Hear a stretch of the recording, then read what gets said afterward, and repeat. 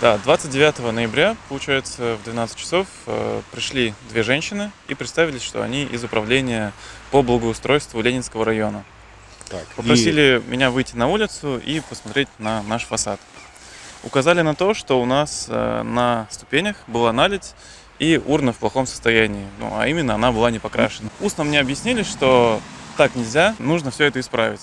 И сказали, что 6 числа будет комиссия, на которой будет принято решение э, вынести мне штраф, либо предупреждение, либо что-то. Я вот я понял это так. А и на комиссию мне нужно было принести фотографии, что мы все исправили, все сделали правильно. Да. 6 числа, а, получается, через неделю, 6 декабря, мы все подготовили, все исправили, почистили, положили нескользящие коврики, заменили урну. Я сфотографировал, пришел на комиссию, отчитался, показал, что все мы исправили, сделали безопасно, не скользко, красивая чистая урна новая. Комиссия, я не знаю, приняла это или не приняла в- во внимание, но выписали штраф 10 тысяч рублей. А вы говорили мне, что когда вы шли на комиссию и пришли туда, там было ну, много таких же, как вы, предпринимателей Да. Ленинского района. Да, там было порядка 10-15 человек, и у всех была, наверное, похожая ситуация. То есть либо это снег, либо это шум. И практически всем, э, я так понимаю, выписали по деся- Да, десяточке штрафа. да. да? Вы вот как расцениваете эту ситуацию? Вы же не первый год занимаетесь здесь бизнесом, я так понимаю, в Нет, этом здесь помещении. мы находимся с марта этого Мгм. года, то есть полгода. Вообще предприниматель начинающий, только вот э, мы, так скажем, оформили все, ИП, открылись, начали работать. И я не знаю всей нормативной базы. Я думаю, ну, мало людей знают полностью весь объем требований, которые выставляет и город, и администрация, и на всех уровнях. И я, честно, я не знал, что нужно все это под- поддерживать ну, в абсолютно чистом состоянии, что должны быть коврики.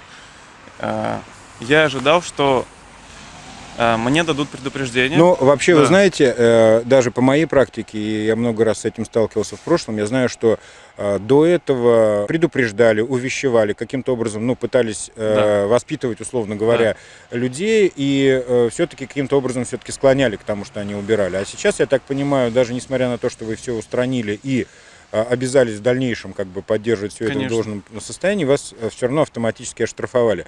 А, Правильно я понимаю, что помещение это не торговое, что здесь нет э, большого потока посетителей, там, Нет. покупателей, это производственное помещение? Конечно, это производственное помещение. Тут работают только я и несколько человек. То есть мы, у нас здесь офис, мы здесь находимся, занимаемся проектированием, планированием, как это, чтобы производство работало, и несколько человек в цехе. А Вам, как начинающему э, предпринимателю в области производства, в области э, реальной как бы экономики, вам какая-то помощь от города, от республики еще была, кроме вот этого штрафа? Нет, кроме штрафа пока помощи не было.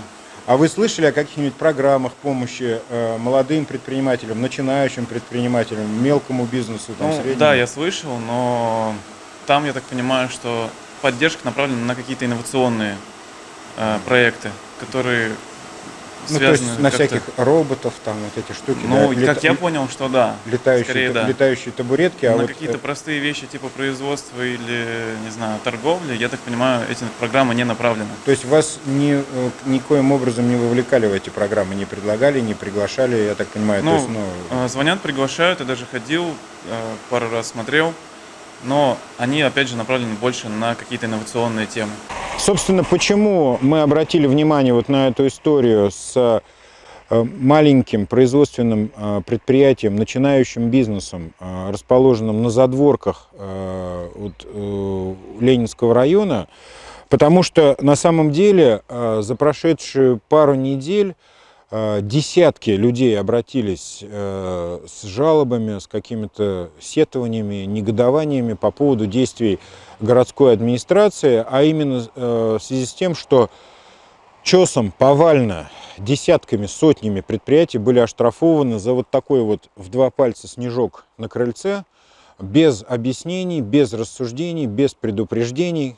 Э, Значит, максимальные штрафы 10-15 тысяч рублей.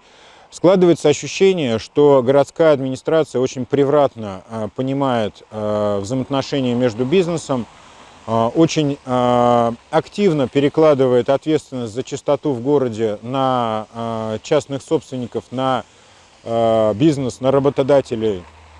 и самоустраняются от уборки этого снега. Снега у нас в этом году вообще минимум.